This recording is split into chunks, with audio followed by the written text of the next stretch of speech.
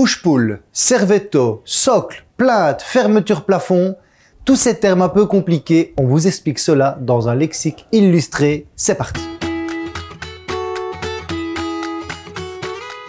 Bonjour à toutes et tous, Thomas de chez DefiTech. Alors, on l'entend quand même de temps en temps, on a un langage un peu hermétique parfois difficile à comprendre. Et en fait, on emploie des termes avec vous comme si les termes étaient hyper faciles, hyper compris. Alors maintenant, on a, on a eu des retours, on s'est dit, OK, on a des fois des termes qui peuvent paraître logiques, mais qui ne sont pas logiques pour tout le monde. Alors on disait en début de vidéo, pour la pour l'intro, on parlait de servetto, de soc, de plein de fermeture plafond.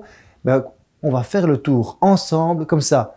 Vous serez au courant d'absolument tous nos termes. Certains les savent déjà, mais comme ça, on fait un petit résumé. Go Le servetto, penderie relevable, ascenseur à vêtements, c'est la même chose. C'est donc ce système de suspension monté sur vérin qui permet de stocker des vêtements plus haut, mais surtout d'y accéder plus facilement.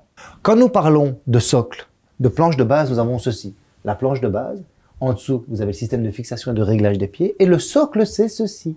Le socle, c'est décoratif. Ceci, derrière, il y a les plaies de réglage et de mise à niveau, mais quand on parle de socle, on parle de ceci. Tant qu'on est ici, quand on parle de fond du placard, on parle bien évidemment de l'arrière du placard, parce que certaines personnes confondaient le fond et le fond.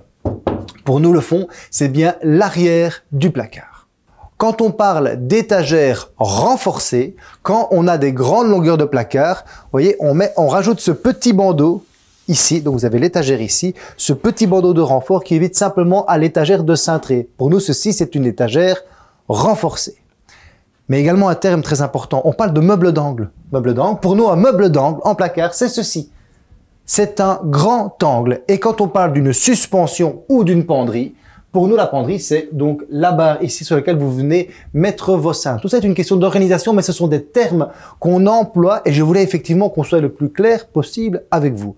Quand on parle, tant qu'on est ici, de joue, quand on parle d'une joue, c'est ceci. La joue verticale d'un placard, c'est ceci, qui est indispensable, car elle tient évidemment le placard de gauche et tient le placard de droite. Donc quand on parle de joue verticale, nous parlons de ceci. Quand nous parlons en dressing, placard, de tiroir, push-pull, également push-to-open ou push-lâche en français, c'est ceci. C'est un tiroir auquel il faut appuyer sur la porte pour l'ouvrir et appuyer pour refermer. Tiroir push-pull c'est ceci. Dans un placard, si vous avez la place, je vous le souhaite de l'avoir, si un jour vous dites, voilà, nous allons vous placer un îlot dans votre placard, pour nous, un îlot, c'est ceci.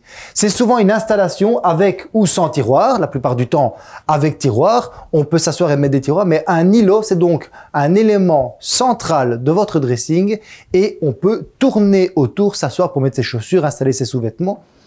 C'est donc l'îlot. Mais un élément très important qu'on utilise énormément, on parle de fermeture plafond.